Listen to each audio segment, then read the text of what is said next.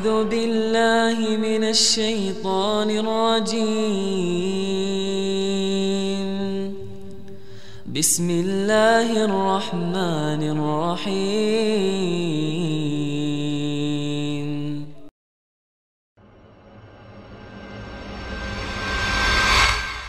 Baik, suatu hari dalam hadis yang diriwayatkan oleh Ibnu Hibban dari Muad bin Jabal radhiyallahu anhu, Muad ini hendak melakukan perjalanan. Dia mengatakan, "Ya Nabi Allah, ausini." Wahai Nabi Allah, berikan wasiat kepadaku. Qal, apa wasiat Nabi alaihi wasallam kepada Muad bin Jabal? sahabat yang paling faham dengan halal dan haram. Nabi mengatakan kepada Muad bin Jabal radhiyallahu anhu, "Ubudillah wa la tusyrik bihi syai'an." Subhanallah. Wasiatnya tauhid. Beribadalah kepada Allah dan jangan melakukan kesyirikan. Ustaz kalau ngasih nasihat Ustaz tolong kasih wasiat anu Ustaz Antum bertauhid lah Jangan melakukan kesyirikan. Ya udah ngerti kalau itu Ustaz. Kita meremehkan wasiat itu. Padahal inilah yang akan menyelamatkan kita dari azab Allah Ini adalah cabang keimanan yang paling tinggi. Yaitu la ilaha illallah. Nah, setelah itu Mu'ad mengatakan, Ya Nabi Allah, zidni. Wahai Nabi Allah, tambahkan buat aku wasiat. Minta tambahan. Qala idza asa'ta fa ahsin. Kalau engkau melakukan kesalahan, maka tebuslah dengan berbuat baik. Nih. Semua berbuat salah, siapa? Anak antum sudah menjadi kodrat manusia melakukan kesalahan. Maka Nabi mengatakan kepada Muad, kalau engkau melakukan kesalahan, tebus dengan berbuat kebaikan. Jangan terus kesalahan-kesalahan nanti, nanti jangan. Karena banyak di antara kita yang suka menunda-nunda tobat. Baik, kemudian Muad mengatakan, Ya Rasulullah, zidni. Tambahkan buat aku, wahai Rasulullah, istaqim. Engkau istiqomahlah atas tauhid atas wasiat yang tadi laksanakan dengan baik wal yahsun khuluqu dan hendaklah akhlakmu jadi baik setelah bicara akidah bicara bagaimana menghadapi kondisi diri yang selalu berbuat dosa lalu Nabi berpesan kepada Muad istaqim istiqomahlah engkau dan hendaknya akhlakmu baik Jadi kita yang belum baik akhlaknya, yang merasa sudah baik akidahnya, hendaklah memperbaiki akhlak. Karena akhlak ini bisa dirubah, jemaah, bisa dirubah. Salah satu tadi dengan bicara keimanan. Yang kedua, cara kedua memperbaiki karakter kita yaitu beribadah kepada Allah. Antum kalau melihat kita tahu setiap Allah mengatakan amanu pasti Allah mengatakan wa amilus salihat illa alladzina amanu wa amilus salihat. Allah mengatakan wal asri innal insana lafi khusrin illa alladzina amanu wa amilus salihat. Dan amal soleh ini termasuk iman. Apa aja yang perlu kita amalkan? Semua yang wajib-wajib itu kalau dikerjakan dengan benar akan membuahkan hasil yang baik, akhlak antum akan jadi mulia. Kembali lagi, kalau sholatnya baik, kemudian akhlaknya buruk, berarti ada masalah di mana? Di sholatnya, di imannya. Masya Allah banyak sodako, tapi kok akhlaknya buruk, maksudnya berarti ada masalah di sodakohnya tadi. Sekali lagi tolong jangan menjadi hakim menilai orang lain. Kita berusaha memperbaiki diri kita sendiri. Kalau bicara sholat, apa kata Allah tentang sholat ini? wa aqimis salat inna salata tanha 'anil fahsya wal munkar Allah mengatakan dirikan salat karena sesungguhnya salat itu mencegah dari perbuatan keji dan munkar kalau antum benar sholatnya insya Allah yang lain benar. Masya Allah. Anda lihat sebagian sudah mulai tidur. Masya Allah. Lanjut apa? Mau tidur Ingat Ada larangan tidur sebelum Isya. Ada larangan tidur sebelum Isya. Maka jangan tidur. Nanti habis Isya tidur Sholat itu mencegah dari perbuatan keji dan munkar Tapi ada orang yang sholat masuk neraka Apa kata Allah? Fawailul lil musallin. Celaka buat orang yang sholat nih, sholat celaka. Jadi kalau ada omongan yang masih sering kita dengar, yang mengatakan udahlah nggak usah bicara sholatnya benar apa nggak benar, yang salah itu yang nggak sholat. Iya, yang nggak sholat salah. Tapi kita yang sholat pun perlu memperbaiki sholat kita.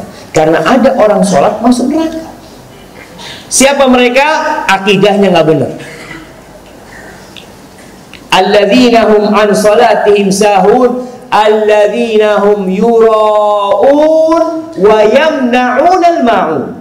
Subhanallah. Nih, orang yang sholat tapi celaka punya tiga sifat. Yang pertama lalai dengan sholatnya. Sa'ena dewi. Dia mau sholat, sholat. Azan di masjid nggak digubris. Telat-telat waktunya. Baca cepat-cepat rukuknya juga cepat-cepat yang kedua ria. Secara amalan sudah meremehkan amalan dia secara hati dia bukan buat Allah soal ria. Yang ketiga di akhlaknya sama manusia. Wa yamna'unal maut dan orang ini melarang ya orang lain untuk mengambil manfaat dari dirinya. Kalau mau mencontohkan tetangga mau pinjem panci oh enggak nggak bisa. Tetangga mau pinjem selang kita tuh harus peduli sama tetangga kita kalau enggak antum masuk ayat ini kalau antum sholatnya baik tapi antum tidak care sama tetangga subhanallah Anak punya teman di Medina, masya Allah kali. Dia itu beli panci besar. Dia beli panci besar. Kita sampai bingung, antum itu anaknya nggak banyak, buat apa antum beli panci besar banget gitu? Iya, mungkin tetangga punya acara, jadi bisa dipinjam. Dari awal beli bukan buat diri, tapi dia berpikir buat tetangganya.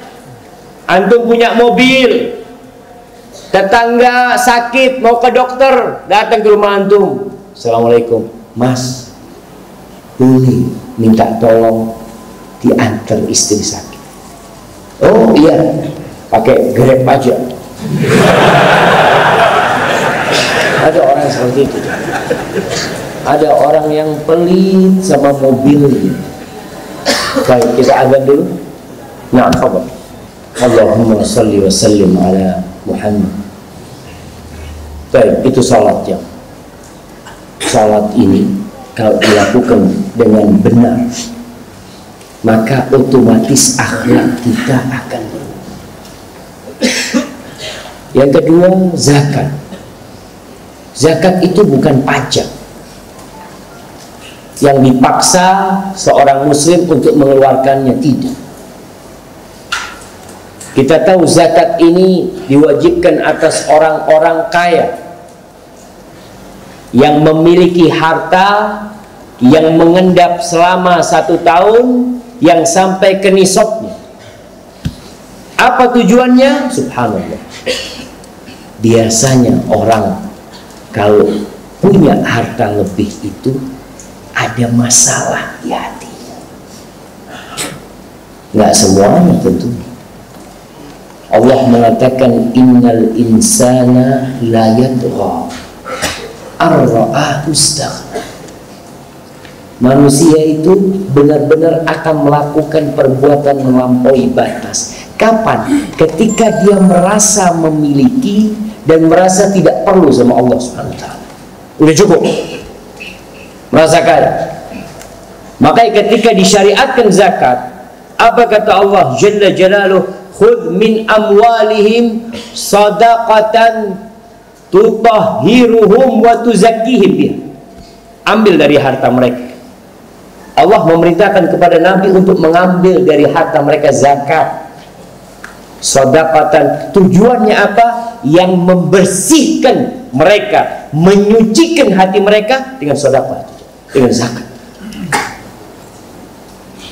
Jadi di antara tujuan disyariatkan zakat itu untuk memperbaiki karakter kita. Manusia itu cinta sama harta. Dan antum bisa lihatlah kondisi kita, nggak usah orang lain. Kita kalau lagi susah dekat sama Allah. Maka ini yang dekat-dekat soal pertama ini. Ini mungkin lagi susah ini mah. Allah wahala. Tapi kalau yang seneng di pintu ya, yang di mana? Yang di tembok, santai gitu kan. Artinya anak gak sudon ya mah. Artinya kita biasanya kalau lagi susah, masya Allah getol mau ibadah, deket sama Allah Subhanahu Wa Taala. Tapi ketika kesulitan itu diangkat, kemudian itu datang, rizki dibukakan, terkadang kita mulai lupa. Awalnya sok pertama di masjid. Ketik awal Masya Allah. Sebelum azan ada di masjid. Kita lihat ya Allah Anak kok bisa seperti ini? Tapi ketika rizkinya diperluas Diperluas Jadi soft kedua. Ketika usahanya semakin maju jadi imam. Tapi buat orang-orang yang masbuk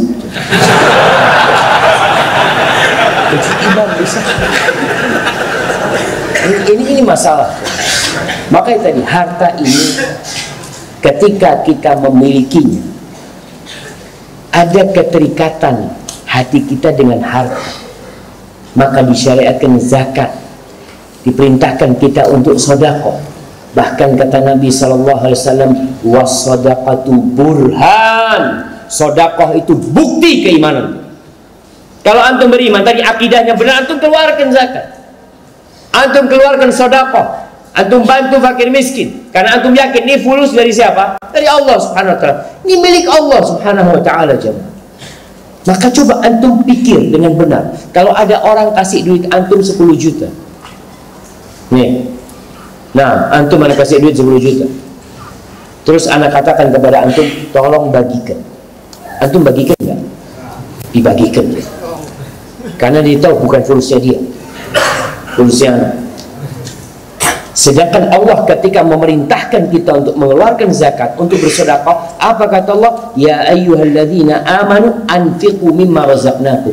Wahai orang-orang beriman, tolong bukan Allah bilang tolong, tapi Allah perintahkan berinfaklah kalian dari apa yang kami rizkikan kepada kalian itu dari aku kata Allah Jalla Jalal terus kenapa orang berat untuk bersodakoh padahal nih uang milik siapa?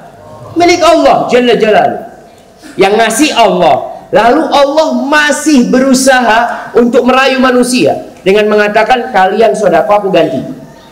Karena manusia pelit ya mah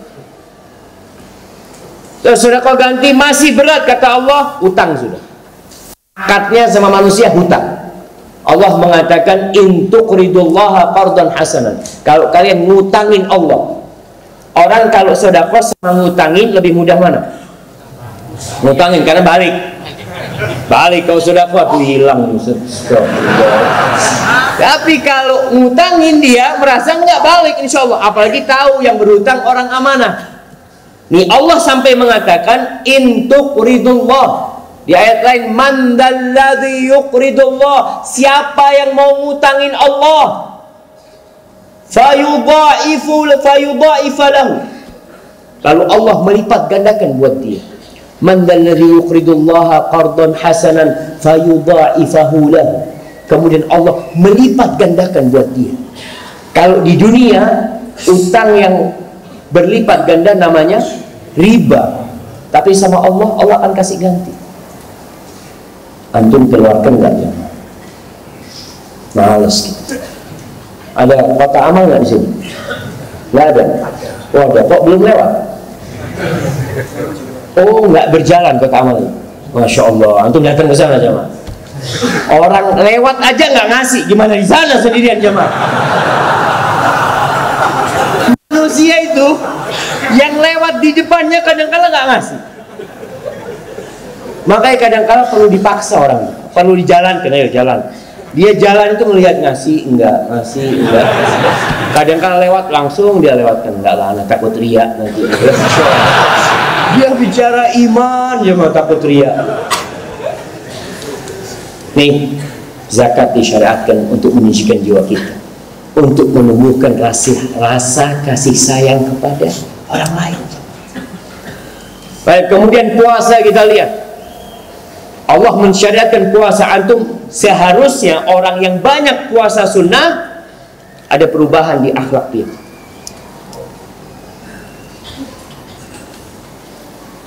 Puasa ini bukan untuk menghalangi antum dari makan dan minum. Tapi puasa ini adalah langkah untuk mengajarkan kepada antum bagaimana mengontrol jiwa dan nafsu antum. Oleh karena itu, Allah mengatakan kutiba alaikumusiyam ya ayyuhalladzina amanu wahai orang-orang yang beriman kutiba alaikumusiyam kama kutiba alal ladzina min qablikum la'allakum tattaqun. Diwajibkan atas kalian berpuasa sebagaimana diwajibkan atas umat-umat sebelum kalian agar kalian bertakwa kepada Allah Subhanahu wa taala. Syariat ini bukan untuk membebani kalian jadi puasa itu langkah bagaimana kita menuju kepada Allah Subhanahu wa taala, bisa mengontrol jiwa kita. Bayangkan orang yang puasa, istrinya sendiri tidak dia sentuh. Kenapa dia sedang puasa? Ada makanan Masya Allah Dia lewat di jalan mencium aroma yang enak sekali Dia tahan, aku sedang puasa Kalau yang halal bisa dia tinggalkan Maka sebenarnya yang haram akan lebih mudah untuk dia tinggalkan Istrinya halal dia tinggalkan Mungkinkah dia akan berzina jamaah? Di sini latihan seorang mengontrol nafsunya untuk menuju takwa kepada Allah Subhanahu wa taala. Maka kata Nabi alaihi salatu wasallam man lam yada qaula zur wal amala bihi falaysa lillahi hajatun fi an yada'a ta'amahu wa syarabahu. Barang siapa yang ketika berpuasa dia tidak meninggalkan ucapan-ucapan palsu, kata-kata yang buruk, perbuatan-perbuatan bodoh dia tidak meninggalkannya, maka Allah nggak butuh sama dia meninggalkan makan dan minum. Kenapa engkau tinggalkan makan dan minum yang halal Sedangkan perbuatan-perbuatan nista, ucapan-ucapan kotor tetap kau katakan. Maka orang yang puasa, insya Allah ingat, aku ini sedang melatih diriku, melaksanakan perintah Allah supaya aku jadi lebih baik. Haji, orang yang berangkat haji, banyak jemaah pulang haji. Kita selalu berpandangan orang yang pulang haji itu lebih baik daripada yang tidak berhaji. Betul. Seharusnya seperti itu.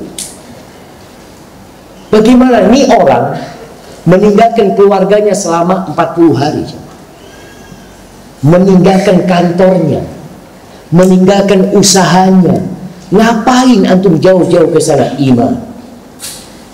Akidah yang mengantarkan dia ke sana. Ketika pulang dari sana, jemaah haji itu lebih baik dari sebelumnya kalau mabrur haji. Allah Azza wa Jal mengatakan Al-Hajju ashhurum ma'lumat di surat Al-Baqarah Allah mengatakan haji itu di bulan-bulan yang sudah ditetapkan. Faman farada fihinnal hajj barang siapa yang berangkat haji yang sudah niat untuk melaksanakan ibadah haji, udah pakai ihramnya, udah mengatakan labbaik Allahumma hajjan kata Allah, fala rafatha wala fusuqa wala jidala fil hajj. Fala jangan mengeluarkan ucapan-ucapan yang kotor perbuatan-perbuatan yang nista jangan jangan melakukan kefasikan jangan berdebat berbantah-bantahan. Bayangkan. Karena haji ini mengandung pembelajaran buat manusia untuk berakhlak mulia. Awalnya tetap iman akidah tetap jalan oleh karena itu ada orang pulang haji nggak diterima hajinya. Apa penyebabnya? Akidahnya nggak benar ria berangkat haji. Kenapa mas kok berangkat haji? Ya itu nggak enak saya mas. Kata orang kampung ini paling kaya nggak berangkat haji. Ya terpaksa lah berangkat haji oh, terpaksa itu jadi kadang-kadang di kampung kelihatan ini orang paling mampu di kampung nggak berangkat berangkat haji. Yang di bawah dia kemampuannya berangkat haji akhirnya dia jadi omongannya orang di kampung karena jadi omongan orang terpaksa berangkat haji anda mendapatin orang-orang yang berangkat haji karena mau nyalek. Ketemu anda sama mereka. Ustaz doakan Ustaz ya, saya insya Allah pulang haji ini. Oh Masya Allah. Supaya nyalek itu ada yang mau jadi gubernur, orang jadi bupati, anda jumpa dengan orang seperti itu. Mudah-mudahan niatnya ikhlas ya. Tapi dia memang kalau mau nyalek itu atau mau nyalon jadi gubernur, kalau nggak ada hanya nggak enak. Nanti maka lihat Orang mesti ha bulan. Dan sekarang ini lagi ramai pencalonan bukan kepala desa. Ya Allah, pilih saya, pilih saya sampai ada teman ngomong ini maling nih. itu polisi yang ngomong Tahu sebagian itu memang ya mau gimana sih? Karena sistemnya yang paling banyak suaranya menang. Bukan yang paling baik. Apakah yang paling baik yang menang? Bukan. Maka di desa itu kadang-kala preman sama preman bertarung ya mah. Jadi bukan orang soleh sama orang soleh. Soalnya kalau orang soleh ngalah ya sudah sampai aja yang jadi sampai seperti yang terjadi. Maka tadi ibadah haji ini seharusnya lillahi ta'ala. Dan engkau kalau pulang haji harus berubah karakter dan sifat. Tapi kalau nggak berubah karakternya apa kata orang kampung? Aduh, guna nih haji. Sampai seperti itu dia. Ya itu manusia berkata seperti itu. Baik yang ketiga, cara mendapatkan akhlak yang mulia adalah dengan latihan. Harus dilatih. Karena akhlak ini ada yang bawaan lahir ada yang diusahakan. Antum pernah lihat ada orang lahir kurus memang jamaah. Kurus perawakannya tulangnya kecil ya subhanallah. Setelah lima tahun ya teman SMA dulu lima tahun antum lihat ya Allah badannya kekar. Loh, kok iso antum kayak gitu? Latihan begitu pula akhlak. Kalau antum yang terbiasa marah-marah yang terbiasa ngomong kotor mamanya anak nggak tahu saya kalau marah tahu-tahu kebun binatang keluar. Itu hatinya isinya kebun binatang ya mah kullu idain biyafihi yamdoh. Semua ceret itu akan mengeluarkan isinya. Nggak mungkin ceret isinya jus keluarnya kopi gitu loh isu keluar kopi nggak mungkin itu sesuai dengan isinya Makanya tadi kalau ada orang yang merasa anak memang ah, ada yang tabiatnya kasar, suka marah dari kecil Ustaz. Anak lahir di keluarga memang yang keras. Sering ada perempuan yang curhat mengatakan Ustaz memang suami anak keluarganya keras. Dia pun seperti itu. Bisa diperbaiki enggak? Bisa diperbaiki. Kata Rasulullah sallallahu alaihi wasallam, "Al-ilmu bit-ta'allum wal ilmu bit-tahallum." Ilmu itu dengan dipelajari. Dan sifat sabar itu dengan dilatih, menyabar-nyabarkan diri. Antum mau marah jadi ingat ya Allah. Kata Nabi SAW, la taghdab, jangan marah. Dilatih. Ada yang biasa ngomong kotor diganti. Dia mulai ucapkan umpamanya Allah yahdi, Allah yahdi, Allah yahdi semoga Allah memberikan hidayah kepadamu. Allah yahdi. Pokoknya marah Allah yahdi. Kalau enggak Allah Akbar. Apa aja. Dilatih lama kelamaan yang biasanya keluar kebun binatang berubah jangan. Yang keluar itu asmaullah kalimat-kalimat yang indah dengan dilatih.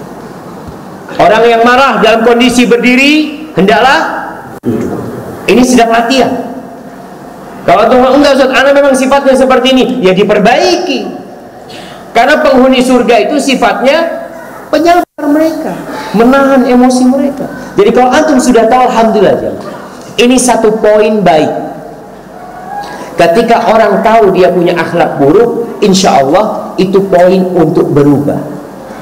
Tapi kalau dia merasa baik, selesai sudah. Gimana antum akan memperbaiki orang itu? Kita pun seperti itu. Kalau kita merasa sudah baik, ya Allah jangan. Karena kalau orang itu merasa sudah baik, betul. Dan dia beranggapan dia mungkin orang paling baik di keluarganya di kampung. Maka berusaha untuk mengetahui aib di diri kita, kemudian dilatih Kata Nabi SAW, "Wa man yasta'fif yu'iffahullah." Barang siapa yang berusaha untuk menjaga kehormatan dirinya, dia enggak minta-minta, maka Allah akan menjaga kehormatan dirinya. Wa man yastaghni yughnihillah. Barang siapa yang cukup maka Allah akan cukupin dia. Wa man yatasab Barang siapa yang berusaha untuk sabar, maka Allah akan bikin dia penyabar. Antum tahu Nabi Musa alaihissalam berapa tahun di istana Fir'aun? Kita tahulah bagaimana hidup di istana bersama Fir'aun. Nabi Musa melihat bagaimana Fir'aun membunuh itu anak-anak dari Bani Israel. Bagaimana bengisnya Fir'aun. Maka Nabi Musa alaihissalam setelah umur 30 tahun beliau keluar dari Mesir ke mana mengembala kambing selama 10 tahun itu termasuk latihan untuk menjadi penyabar maka kalau ada teman-teman yang mungkin ya suka marah-marah suruh gembala kambing. Nah jadi itu latihan. Ada profesi-profesi yang membantu kita untuk berubah akhlak. Seperti profesi apa? Ada yang jadi buruk akhlaknya ya. tukang mancing itu Orang yang mancing ikan itu penyabar apa enggak jam? Sabar mancing di pasar. Ada lihat wallahu a'lam Jawa ya. Kok dibilang penyabar? Kadang kala kalau ada yang rame-rame batu malah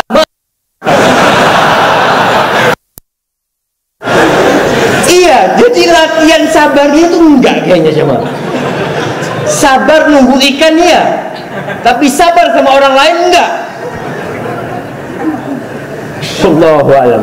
Tapi memang antum cari lah. Ketika antum melihat anak punya sifat yang buruk, cari profesi yang membantu antum untuk jadi penyabar. Baik. Supir angkot itu penyabar apa enggak?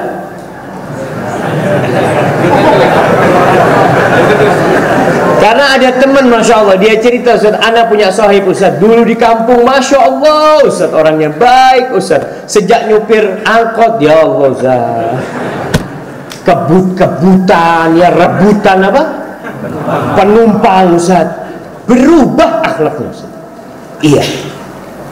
Kadangkala kondisi itu merubah akhlak antum. Kenapa disyariatkan hijrah? Ketika antum hidup di lingkungan tadi keluarga yang keras antum akan tumbuh jadi keras sama seperti mereka. Tapi ketika antum dikeluarkan dari tempat itu perlahan-lahan akan berubah orang yang bakhil latihan supaya tidak bakhil. Wallahi anak pelit anak tahu bagaimana latihan? Tiap hari antum ke masjid bawa duit 2000 tiap hari masuk masjid taruh 2000 setelah satu bulan antum kalau nggak bawa duit gimana perasaannya? Ya Allah lupa nggak bawa duit. Mulai sifat itu berkurang. Setelah 2000 ganti 5000 ganti 10 ribu. Ketika antum terbiasa ngasih 10 ribu lalu antum mau ngasih 2 ribu nggak enak. Ya Allah masa 2 ribu? Mulai antum terlatih. Maka bismillah antum latihan. Ketika ada kotak amal bismillah. Masukkan sudah berapa? Kadang-kala orang memang awalnya selalu yang dikeluarkan berapa? 2 ribu. Selalu 2 ribu. Kalau nggak ada 2 ribu nggak sodako. Dia oh nggak ada uang kecil. Masih belum terlatih dia jam. Tapi nanti kalau antum biasa ngasih 100 ribu jam. Ada teman Bogor yang dia cerita. Kita sodakoh 2000 tiap subuh. Masya Allah. Isi tiap hari kita dapat di komplek itu lebih dari satu juta setengah. Padahal yang sholat nggak banyak. Awal lama kelamaan isinya 10 ribu, isinya 100 ribu. Itu butuh proses. Antum pun harus membiasakan dia. Yang muda-muda nih, jangan nunggu punya usaha sendiri baru sodakoh. Antum kan hidup dari kiriman orang tua sekarang. Maka berusaha setiap kiriman orang tua itu antum sudah sisihkan. Dapat kiriman umpamanya 300 ribu. 300 ribu anda uang saku sehari 10 ribu. Terus gimana caranya? Anak kayaknya mau puasa Senin Kemis. Jadi anak bisa sodakoh berapa? Antum sudah atur. Lama kelamaan wallahi jamaah Antum lihat Aisyah radhiyallahu taala anha. Anaknya siapa? Aisyah radhiyallahu taala. Anaknya Abu Bakar. Bapaknya orang yang dermawan. Kemudian dia menikah dengan Nabi Muhammad sallallahu alaihi. Ajwadun nas. Manusia yang paling dermawan. Bahkan dia lebih dermawan daripada angin yang ditiupkan. Setelah meninggalnya Rasul wasallam, bagaimana Aisyah? Wallahi pernah datang uang kepada dia kira-kira 80 ribu dirham 80 ribu dirham jamaah berapa? kali satu juta eh bukan kali satu juta 10 dirham itu satu ekor kambing satu juta berarti kita kira-kira 8 miliar ya betul. 60 80 miliar.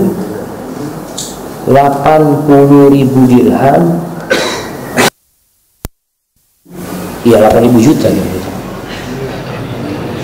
8 miliar. Iya 8 ribu juta.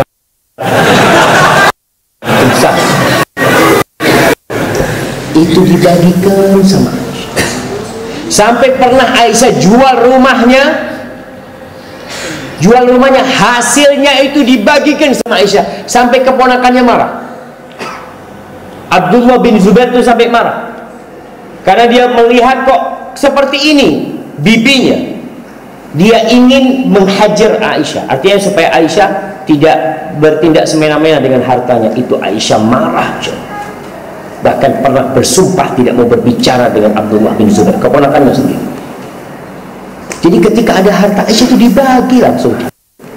Seperti itu mereka. Kenapa? Latihan.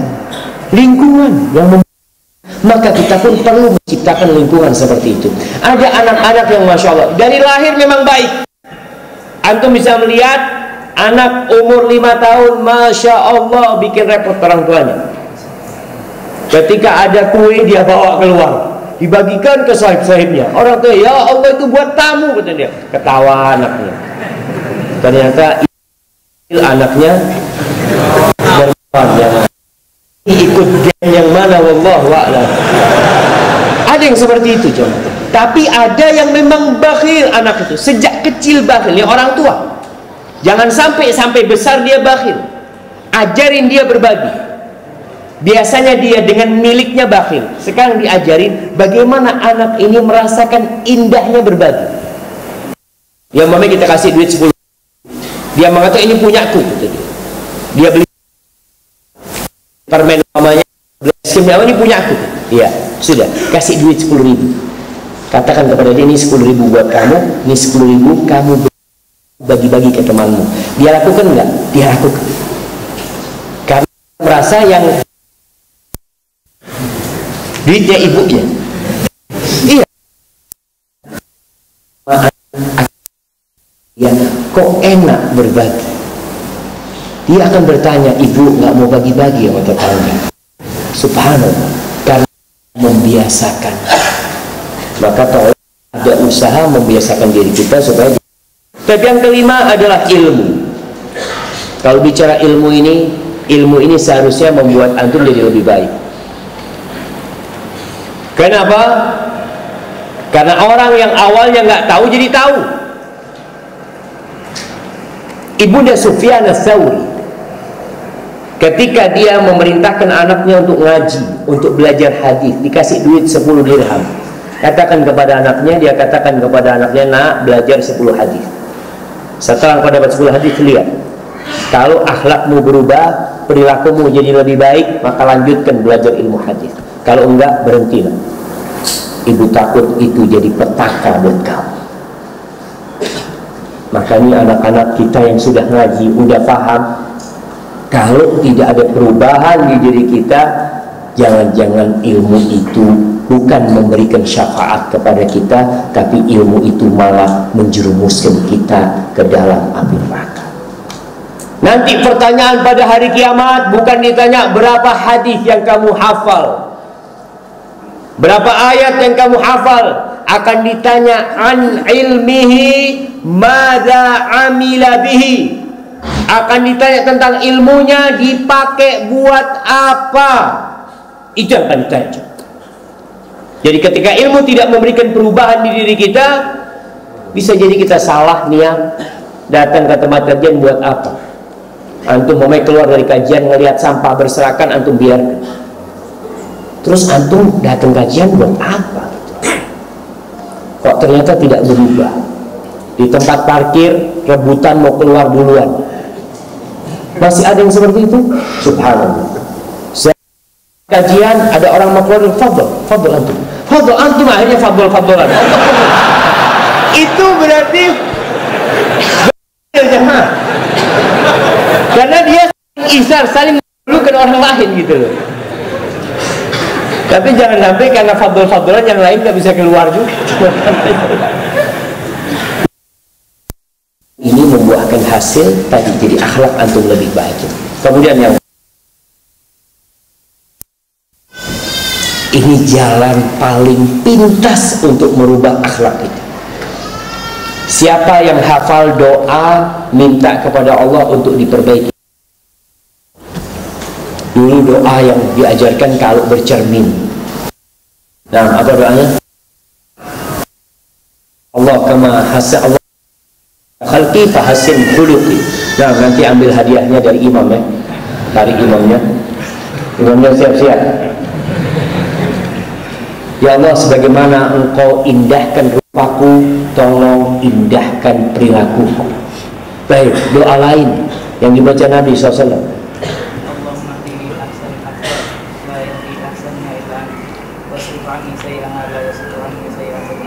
Masya Allah. Allahumma dini li ahsanil akhlak Ya Allah berikan kepada aku petunjuk kepada akhlak yang paling mulia. Nggak ada yang bisa menunjukin ke sana kecuali engkau Maka jamaah cari waktu-waktu mustajab untuk berdoa memohon kepada Allah Jalla Jalal dan kembali kepada awal pembahasan kita bahwasanya iman dan akhlak itu tidak dipisahkan itu sebuah kesatuan yang membedakan hanya tingkatannya itu termasuk dari keimanan أعوذ بالله من الشيطان الرجيم بسم الله الرحمن الرحيم